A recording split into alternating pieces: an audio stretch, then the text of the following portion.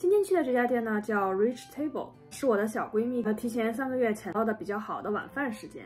三藩市里的米其林一星，一家创意美式料理餐厅。其实我觉得它有一点点融合亚洲的味道。这家餐厅在美国人的圈里还比较火。那今天来看一看符不符合我们亚洲人的口味。今天就是点的 Chef's Pick，所以就是由主厨来为我们选择今天晚上吃的东西。我们是两个人，他们给我们上的几道菜是。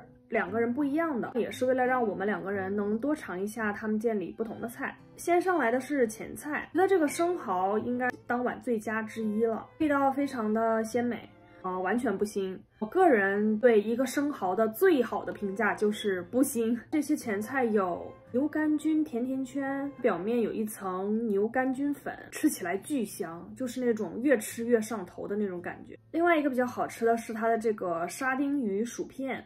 这两个应该是我最喜欢的两道前菜了。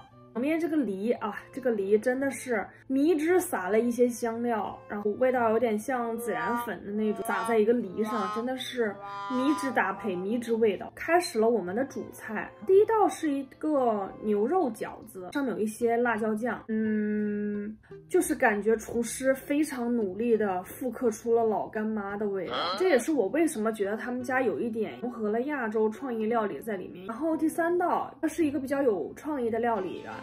而且巨好吃，应该是搭配了蟹肉，然后配上南瓜酱，还有一些柚子粒。表面那些我刚开始以为是面包糠，看了一下菜菜单，好像是某一种烤鱼的碎粒。它的螃蟹特别的鲜，配上南瓜的甜味，这家应该是我当晚最喜欢的这道菜。这个是一个面包片配上南瓜酱，嗯，跟另外那一道比起来，可能就稍显逊色了不少。第四道是一个我的是一道西兰花蛋糕，不知道为什么吃起来有一种麻油和胡椒的味道在里面，又有一点微辣，还有一点咸。另外一道是一个日式的天妇罗，哇，这个日式的天妇罗真的就是可以，我可以毫不客气的给出负分，真的炸的很一般。接下来是两道意面。我的这一盘是海胆意面，惊不惊喜，意不意外？我完全没有吃出来海胆的味道。我朋友的那一碗是蘑菇意面哦，后来是朋友跟我们说，说我们那一碗其实是海胆意面的时候，我自己都惊了，我一度怀疑我是不是感染新冠了，失去了味觉。